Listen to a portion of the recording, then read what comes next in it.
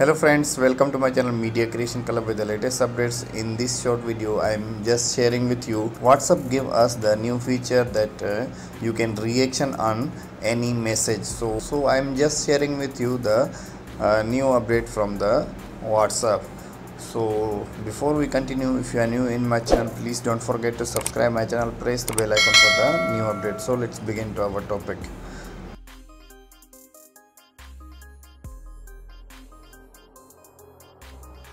so first of all you open your google play store and then update your whatsapp business or whatsapp messenger. You can see here now i got update.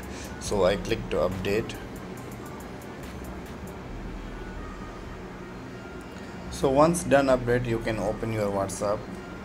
Okay friends so let's try this feature how it's work.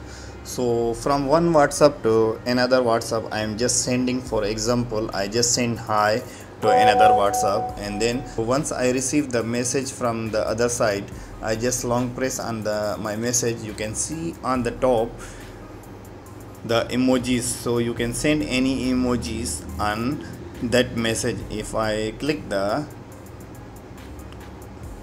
emoji you can see here the receive ready the same emoji. If i want to change the in case i want to change this emoji uh, to different. So I just again long press. And then press the heart you can see here the automatically it's changed. So that is the uh, small feature but so many people waiting for that feature that uh, how they can get and then how they can use that feature.